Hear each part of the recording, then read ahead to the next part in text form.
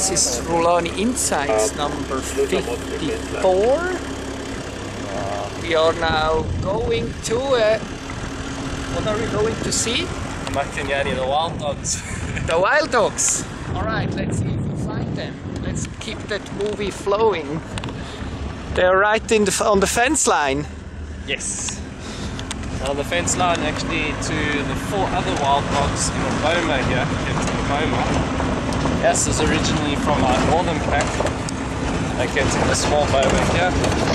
And our southern pack is sitting over there. So you say the wild dogs are there, eh? Correct.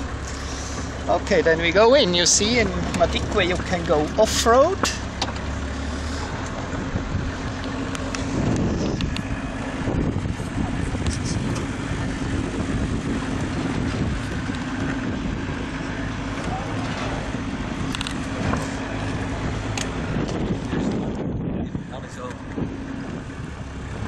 There's a few there. We're going to follow the pack that's moving now. They just got up and decided to jog now.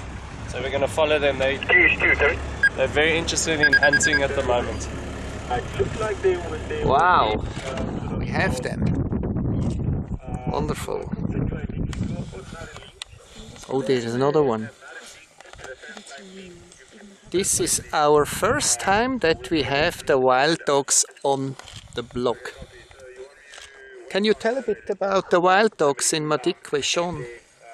Sure, no problem. Uh, in Madikwe, we only have one pack of wild dogs. This is our southern pack. Our southern pack, actually, we originally had two packs. We had the northern pack and the southern pack. Uh, but unfortunately, our northern pack got infected by rabies and they all passed away from rabies. Same, bro?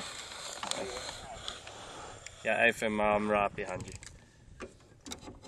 And um, with the southern pack itself, they consist of the five adults. So that's one of the adults that are over there, and then the nine puppies, but they're about sub-adult now. So you'll see them. They've got beautiful patterns, uh, puppies themselves. But the wild dogs themselves, they used to be called, they still get called the painted dogs. And the reason for that is because of all the unique blotches all over the body. And with all those blotches over there, what you'll find, you'll see the very white blotches. That is the genetic pool of the female. Uh, we're going to carry on following. Uh, Okay, perfect. Lose, lose sight of them. So that was the first time eh, with the wild dogs. Okay. You see we have the wild dogs in Madikwe, so it's not a lie. Thank you very yeah. much. We will end this block. That was Rhulani Insights 54. Bye bye.